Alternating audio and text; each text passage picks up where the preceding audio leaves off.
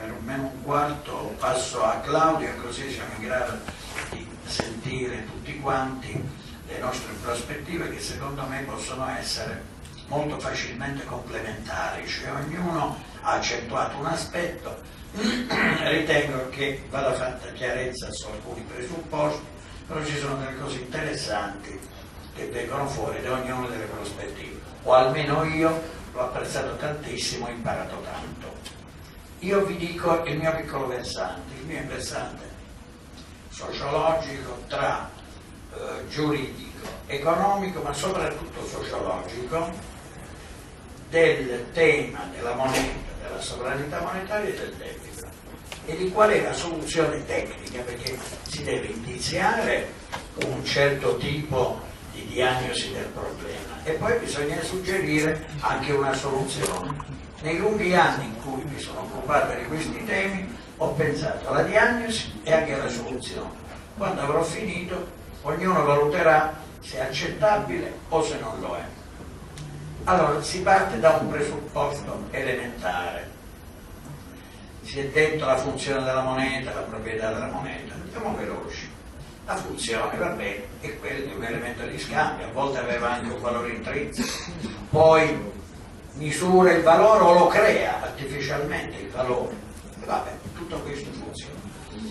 In ogni caso, ad inizio, poteva essere costituito dall'oro, poteva essere costituito dalla conchiglia, il suo dalle mogli, dai cammelli. Voglio dire, la, il bene materiale che sottende al concetto di moneta è interscambiabile, quindi è fondamentalmente un prodotto immateriale mentale, prodotto della conoscenza. E ho fatto un passo avanti incredibile nell'arrivare a questo. Perché? Che nel momento in cui diciamo che è un fatto della mente, adesso vi devo due passaggi e arrivo subito a una conclusione importante, per, sempre per guadagnare tempo, essendo un fatto della mente, chi è che ha la mente? I soggetti concreti, si è detto più volte, anche a Torino, mi è piaciuto molto, ho sentito tutti i colleghi, che dicono che bisogna pensare non solo all'aspetto calcolistico, computeristico, meccanicistico, ma bisogna pensare l'uomo come origine, mezzo e fine, perché se arrivassimo a concludere che tutti i nostri discorsi di diritto, economia, politica, tecnologia sono fatti contro l'uomo, io non ne ho bisogno e ci rinuncio, anzi potrei anche distruggere. Se invece sono fatti per me, e qui è stato accennato appunto, dice, ma insomma l'economia alla fine, la, la, la casa, il vantaggio di casa, ci abbiamo nel meridione, nella Magna Grecia, che siamo noi, che ci ha pregio e difetto, un certo la prima cattedra di economia politica in Europa si chiama Antonio Genovesi, il suo successore Troiano Dazzi di Atri, dove sono nato. Vedete che i miei interessi cominciano a diventare molto prossimi alla mia teoria del localismo, che ha detto che la finalità dello sviluppo e dell'economia dell'utile è la pubblica felicità. E la parola felicità è nata allora. Traduciamola, l'ho sentito molto bene qui prima, la felicità è la misura degli indicatori del welfare. Io sono presente un corso di laurea di politica e management del welfare, quindi pensate com'è facile per me arrivare a una conclusione che adesso vi dirò.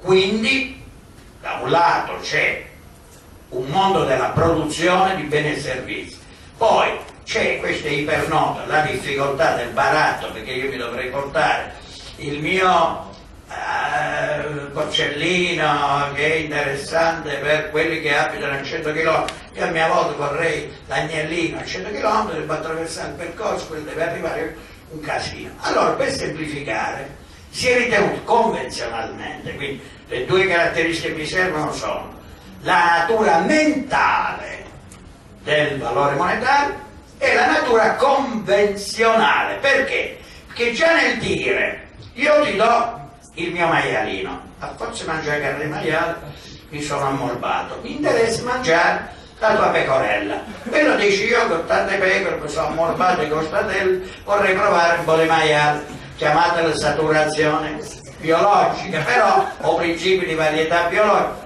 Però quando vanno a incontrarsi e dicono io te lo do il maialetto per la pecorella, ma quante pecore vale il maiale e quanti maiali vale la pecora? Non si avete capito? Il valore d'uso e di scambio contemporaneamente nasce già nella transazione di beni e servizi.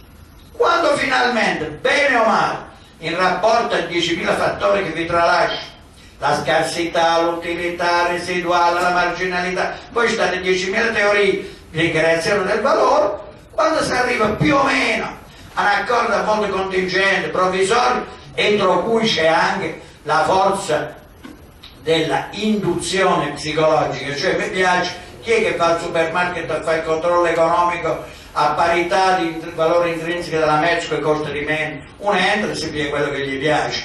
Allora questa considerazione, prendo quello che mi piace, è una componente discrezionale arbitraria, insomma come Dio vuole, finalmente io ti do per ogni maiale due pecorelle. Questo è quasi un punto d'approdo del baratto che ha determinato uno schema di valore. A questo punto dice, senti, allora facciamo così, su un foglietto di carta scriviamo due pecorelle sulla uguale, una volta che io ho stabilito che due pecorelle sono, se l'ho messo un foglio di carta e te lo affido e poi ti dico, guarda che quando tu ti presenterai là lo puoi ritirare, cosa succede? Che questo valore mentale convenzionale, quindi non è che crea il valore, misura il valore, c'entra niente, è semplicemente una convenzione di corrispondenza del valore già attribuito e quando fossimo una civiltà superiore e il valore è solo la quantità di ore lavoro, allora arriveremo a una misura migliore, ma questo fa parte di un altro discorso. Per il momento è discrezionale. Quando io ho i foglietti di carta e finalmente ci prendo un corrispettivo, cosa succede? Che nella condizione di accettazione, cosa c'è? La fiducia, cioè non solo il contenuto simbolico mentale, ma anche la condizione dell'aspettativa di accettazione. Perché se io ti do un foglio di carta, che tu, come dici bene, il carissimo Piersani, tra l'altro oggi una gioia diventata amici cari, eccetera, ma eh, dice tu che ti mangi la carta, dici guarda il delinquente mi lascia la carta, eccetera. poi quando vado io mi faccio 800 km, scalotto le montagne, sono venuto, ti ho dato il mio maiale, ora mi serve due pecore, non te le do, perché quando mai l'hai scritto tu, l'hai falsificato, quando mai questo l'hai contratto con un altro, non mi ci faccio trovare più, io sono zio, che cazzo ti conosce, eccetera. Allora, no, no, è quella la verità, il sociologo vi anticipa gioca sul paradosso della realtà più infima. Quindi dove non può scappare, le grandi teorie si misurano sugli andamenti dei rapporti tra persone reali fatte di carne ed ossa e delle loro meriti e demeriti. A questo punto dice chi è che me lo dice? La fiducia. Dice qual è la fiducia? Fiducia è un'altra delle proprietà mentali, eh? Quindi la moneta assume valore. Per quale valore gli danno i contraenti? i contraenti dei produttori dotati di beni e servizi, che dicono che dietro c'è una copertura di un valore nominale che intrinsecamente vale poco e niente, in rapporto alla fiducia. Che è la fiducia? La fiducia che poi viene consacrata dal fatto che siccome non ci possiamo fidare uno dell'altro, allora Nabucodonosor nella zecca ci mette la sua faccia, ci mette la faccia, c'è la faccia mia col pizzetto e degli assiri e te pare, garantisco io.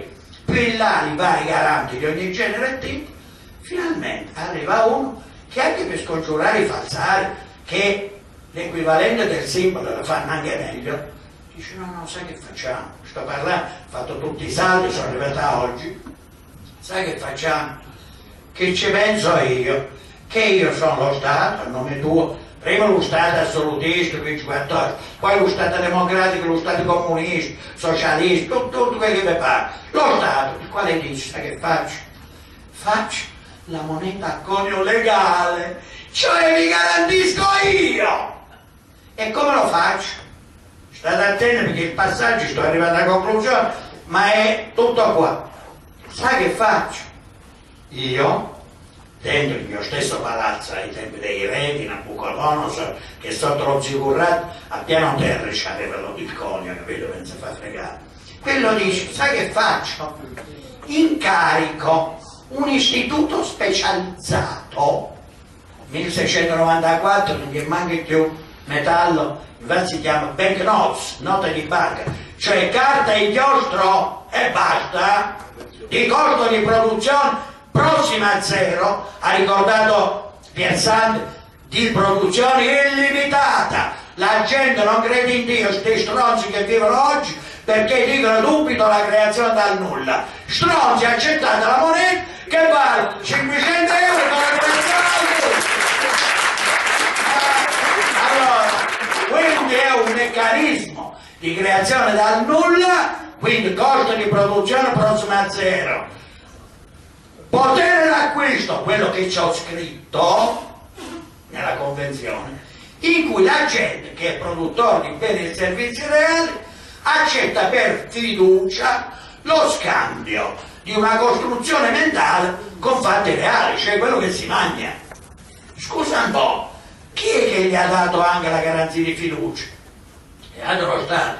E lo Stato a nome di chi? Scusa un po', la fiducia di chi è? Questa proprietà che riempie di valore questo simbolo puramente mentale, si parla la civiltà dei valori immateriali, la gente pensa semplicemente la conoscenza di come si fa il scrippello in busto o di come si deve fare, no, perché i valori materiali eh, oggi la gente sta a pensare eh, la, la, bellezza di Davide di Donatello, valore immateriale per eccellenza, che da sempre, essendo immateriale, ha prodotto una realtà materialissima, il vile denaro, lo sterco del diavolo, si chiama moneta la quale, state attenti, che il passaggio è fondamentale, nel momento in cui lo Stato lo autorizza. Come tipografia, state attenti che sto in qua vedete Henry Ford disse se accorge la gente che cazzo c'è dietro ci ammazza tutti in mezza giornata. Perché? perché lui invece di essere un barriere che produceva moneta senza produrre niente, doveva via pagare gli operai, fare il mercato, eh, fa la macchina, trovare il metallo, quello dice io non produco da non, io devo lavorare sul set. Dopodiché Mackenzie state attenti che se non ce l'hai tu in mano, inutile che c'è il Parlamento delle leggi che non conta un cacchio. E l'altro che vi dice molto bene, state attenti che si è affidata alla creazione di moneta bancaria, il falso diritto, che non è il proprietario, è un tipografo e basta, interscambiabile, sa qual è la conclusione? Che quando domandi di chi è la proprietà della moneta all'atto di emissione, prima di tutto vi risponde i cittadini che lo accettano nella loro simbologia sociologica, nelle loro capacità di fiducia di dare a un pezzo di carta inutile valore reale contro la prova. Stampate quello che volete mandatelo nell'isola di Robinson Crusoe vi ci pulite solo il culo.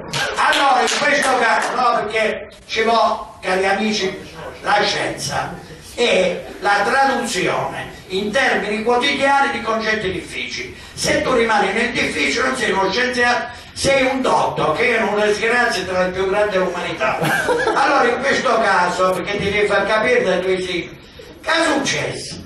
Che nel tempo quello che ha detto mi hanno incaricato di stampare, ha detto ma ci vuole indipendenza dalla tua autorità politica, notare in democrazia quell'autorità politica, il Ministero del Tesoro e tutti noi, cioè autorizza la stampa della moneta color legale a nome del popolo italiano, chiaro. Quando esce è un simbolo, è una fiche, la quale ha valore solo perché noi l'accettiamo, perché è un valore sociologico. Quindi eh, Claudio dice vuole la nazionalizzazione, noi in partenza, solo nostro. E quindi se è proprietà nostra, che cosa fa questo tipografo? Ce l'ho stampato io. E ma tu mi hai autorizzato io te lo presto. Io stampo il libro, vado al tipografo, no, io scrivo un libro, vado un tipografo, un tipografo, professore, ma se te ne la me la paga, anzi tutti gli utili che ne nasceranno li pigli. Io ti massacro, aspetta. Infatti cosa fa? Se tu gli dici chi è la proprietà della moneta all'altra emissione, quello ti dice, dato che contabilmente lo mette a debito, lo addebita allo Stato, c'è un padrone che ha detto tu mi fai un deposito e me lo stampi, diventa invece colui che l'ha dato a ritirare, si indebita. State attenti, è tutto un prepassaggio, perché i grandi truffe mondiali nascono allo Stato zero, dove la gente non ci va mai perché comincia allo Stato 8625, dopo studi a cascato e tutte le conseguenze. Non si domanda il primum da dove parte, il logos, la voce di Dio quando è stato fatto mondo. Allora per capire come è stato fatto il mondo, sto finendo, tu che cosa fai? Gli dici, caro amico, tu non sei il proprietario, sei un tipografo. Per cui, avendo lavorato con carta e inchiostro, il cui costo di produzione è pari dopo un mese intero a circa 500 euro, poi c'hai l'ammortizzamento dei macchinari, il pagamento di tutto, ma mi riempi tutta l'università di Terra di fogli da 500 euro, io ti do 10.000 euro e te ne vai a fanculo. Da adesso in poi io riprendo ciò che è mio a nome del popolo italiano e distribuisco le fiche alla gente perché essendo proprietà della gente a nome del suo ministro che ne autorizza il gettito legale tutti gli utili, qual è il principio del diritto privato? È facoltà del proprietario prestare. Scusa, tu a me non puoi prestare e sei il tipografo incaricato ha detto bene Giovanni, ha detto Rovier, che cazzo è la proprietà dell'euro? Ha detto un sistema bancario, c'è dei tipografi, ma che avete ammattito? Non è manco dello Stato, è dei cittadini i quali lo usano e se non avessero fiducia e non avessero bene i servizi di scambio sarebbe carta straccia anzi convenzionalmente possono dire caro tipografi te non so che fare mo vai a Sant'Atta la tipografia e me ne faccio stampare a me, perché la sovranità monetaria, che è un diritto inviolabile e fondamentale, è del cittadino ed è dell'unità locale. Altro che la moneta universale, che significa farsi padrone universale. Vedi come ho fatto la sceneggiata napoletana a raccontarlo? Perché mi animo anch'io, in quando le sono scoperte mi facendo, mi sono io stesso impressionante da dire ma veramente sono due o tre cent'anni che succede sta roba lo storico del 3000 quando una superiore civiltà giuridica dirà che i banchi centrali vengono pagati come fabbriche dei loro costi di produzione e tutti gli utili sono nostri cioè l'1-3%, il 4%, l'UTAS ufficiale di sconto, la distribuzione bancaria, vedi che fa la Banca Centrale Europea? te lo do lo 0,50, chi cazzo dà in banca? Non lo dà 0,50. Alla banca la di chi se la può e mi deve dare un 5% perché lui l'ha dato 6. Forse non ci siamo chiaramente che stiamo a parlare. Allora la conclusione è che la proprietà della moneta è l'emissione del cittadino, che le delega la stampa allo Stato a valore legale e i cui utili, passando dal tesoro dove viene depositato tutto quello che stampa la banca centrale, fatto il circuito di tutte le transazioni finanziarie da cui vi interessi, perché è facoltà del proprietario prestare averne gli utili. Il proprietario siamo noi, quindi anche, top in tax si dà sul 2%, se così ti consacro, riconosci che mi fregasse per tutta la vita e ti ricardano il 2%. Tu non hai niente, nessuna proprietà, la proprietà è solo nostra. E quando tu prendi gli utili dei dividendi bancari, quindi non le banche che sono soci della società per azione che è la banca centrale. Un topografo sa fatto, controllore e controllato dell'iter che distribuiscono i quadrini a cui sono i soldi nostri. Ma che cazzo state combinando? Lo storico del 3000 sa che ci dirà? Era 7 miliardi di abitanti, 7 miliardi di gocce di gas che non valevano niente, si sono fatti fregate di più, nonostante alcuni avvertimenti che venivano fuori là. Allora, siccome noi siamo figli di Machiavelli e non siamo più fessi nessuno al mondo, noi siamo in grado di prendere le eredità della cultura scientifica e politica che ci sta dietro. Siamo d'accordo con Ford, il quale ce l'aveva con questo meccanismo, perché lui era un produttore di beni reali, ha visto quelli che, che lo condizionano, come ce l'hanno gli imprenditori di beni reali, dice dipende dalla moneta. Ma chi sti dice? Io nel mio comune incarico l'utente che c'è una provvista necessaria per il fabbisogno prodotto. Ma la deve essere a 0,50, volete lo metto pure allo 0%, tanto mi costa un cazzo.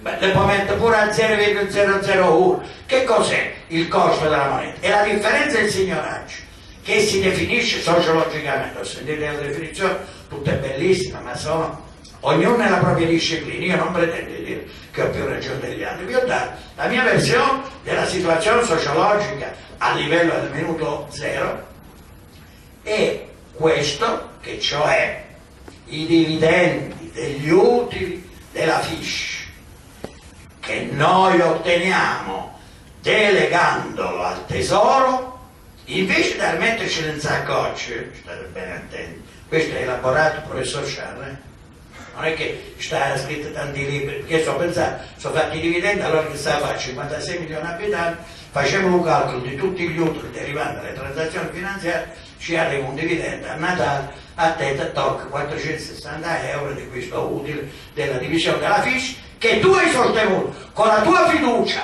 col tuo intelletto che la credenza simbolica, cioè non so se avete capito che se tutto il valore in testa, la nostra testa, tu devi pagare la mia testa, la mia immaginazione sociologica, che è un valore incredibile, perché regge un sistema invisibile che mantiene l'economia reale e paga il mio cervello, siccome il cervello di tutti, non è che la fiducia è mia, la fiducia è mia, sua, tua, di tutti noi, perché una volta che tu l'hai accettata tutti gli altri l'accettano, cioè mi paghi, in questo caso, proposto di Sciarro, ho finito, invece di pagarmi il mio dividendo, che è la proprietà della moneta del cittadino e ci vuole una grande riforma costituzionale. Questi stanno a perdere tempo su tutti gli struzzati, hanno perso sovranità monetaria, non sono nulla e nessuno. Leggete che cosa dice Mackenzie che è un grande liberale. Guardate, i liberali hanno ragione in questo senso come i marxisti, perché un marxista gli dice grande lo sfruttamento, un liberale gli dice a me ma tocca la proprietà.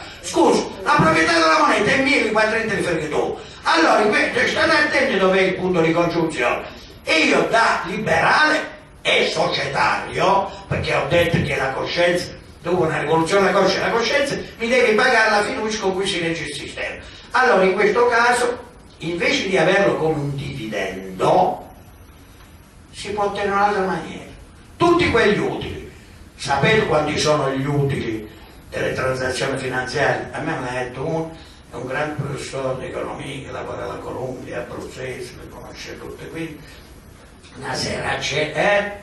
Dominic Salvatore che fa consulente alla Federal Reserve guarda Charles Settè in un garage pieno di scatolette di tonno riempio perché da come sta la situazione siccome per ogni unità di valore sta mandato una forchetta questo vale un euro quindi dovrebbe circolare un euro si quando ne circola 40 euro quando si accorgerà di questa bolla infinita crolla tutto il sistema e poi compra un chilo di pane ci vuole direttamente un milione di euro.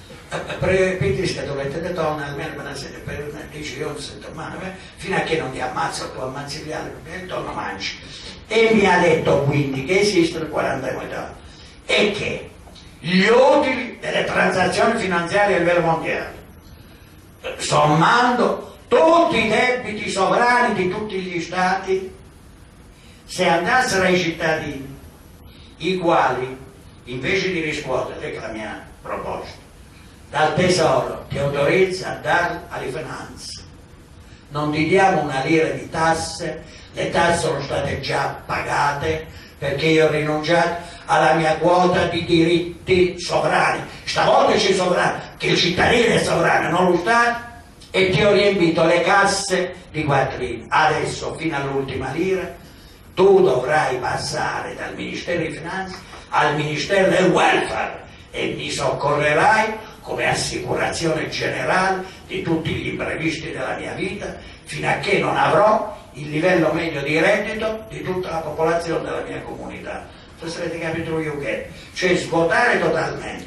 Non le banche, le banche restano tale quale, solo che lavoro come impiegato, per 1500 euro e fanno i servizi prendono l'1% per la mediazione, l'1,7% per io perché i quattrini sono tutti miei, ho autorizzato a batterla a nome mio, io lo reggo in piedi con la mia fiducia e col mio valore convenzionale, non ho ritirato la mia quota di azionario. E te l'ho data al Ministero di Finanze, ho già pagato le tasse, c'è l'accantonamento di riserva di garanzia per il welfare, cioè la previdenza integrale della mia vita, dalle scarpe alla casa, eh, si dice in um, Svezia dalla cull alla tomba. E tutto quel che ci sta in mezzo. Grazie.